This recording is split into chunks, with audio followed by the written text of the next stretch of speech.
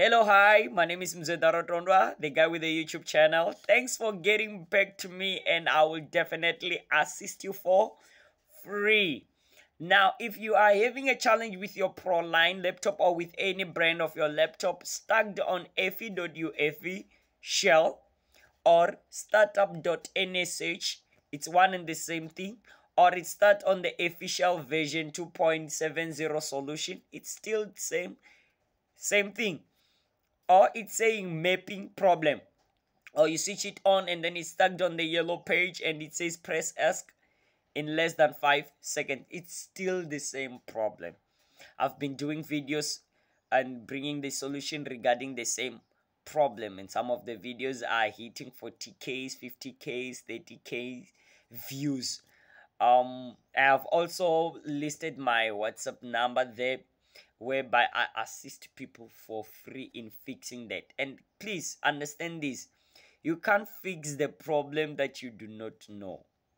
And now, when it comes to this EFI problem, there has to be three things.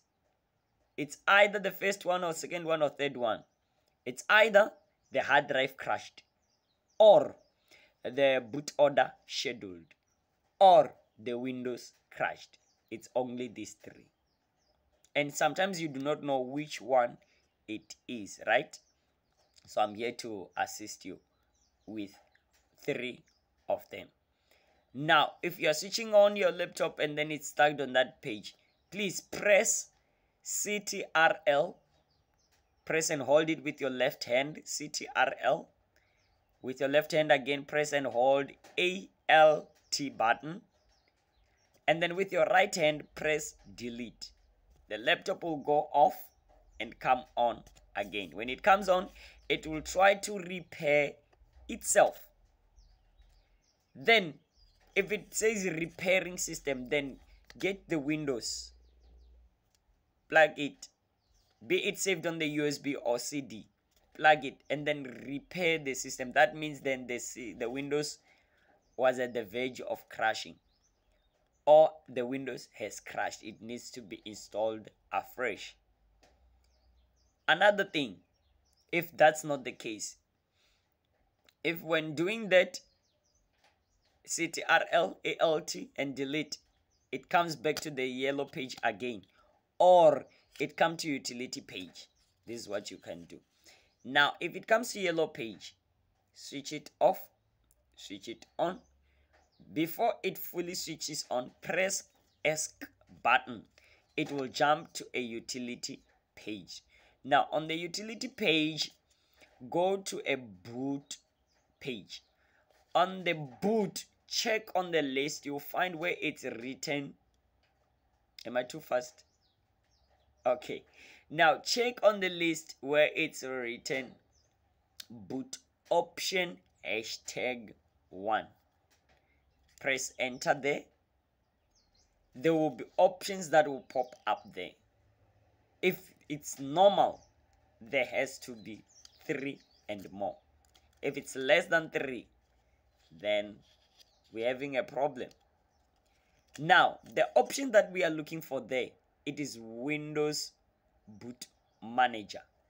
If your your windows boot option is scheduled you find that it's on disable it's on a EFI shell now take it back to windows boot manager. When you take it to windows boot manager then the laptop or computer will then read the the windows and switch on. All right if there is no windows boot manager and it's only AFI EFI shell and disabled only these two please for the last time try ctrl alt and delete. And then when you switch on go back again on the utility page. Uh boot option hashtag one. And if you realize that there is still disable and there is um a FIDOU official only then that means the hard drive has crashed you will have to replace the hard drive these are the three cases And this is the results of laptop having fallen or hit against something.